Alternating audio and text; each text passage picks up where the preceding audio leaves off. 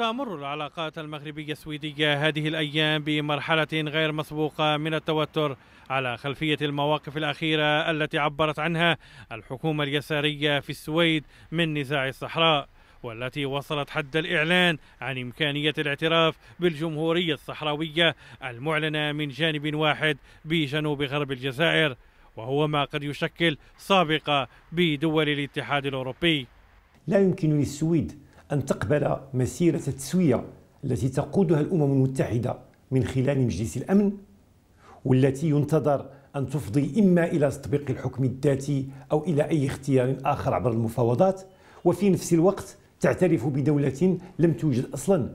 مواقف استبقت السويد بحظر التعامل مع الشركات المغربية العاملة انطلاقا من المناطق الصحراوية محل النزاع وهو ما ردت عليه الحكومة المغربية بقوة حيث قامت وفي إطار سياسة الرد بالمثل بتجميد مشروع إحدى كبريات الشركات السويدية التي كانت تستعد لفتح فرعها بالدار البيضاء وهو الاستثمار السويدي الأكبر من نوعه في شمال إفريقيا.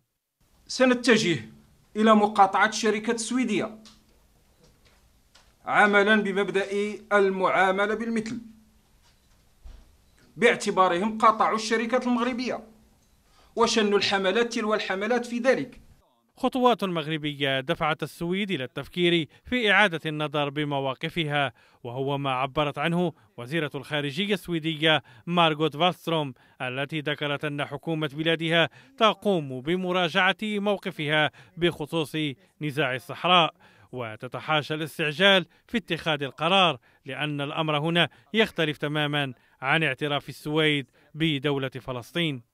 وبالنظر إلى المصالح الاقتصادية بين المملكتين والعلاقات التاريخية الوثيقة بين الأسرتين الحاكمتين والتي تصل إلى قرنين ونصف القرن من الزمن فإن الكثير من المراقبين يؤكدون أن الأزمة الحالية ما هي إلا سحابة صيف عابرة. المصطفى العسري قناة الإخبارية من أمام مقر السفارة السويدية بالرباط.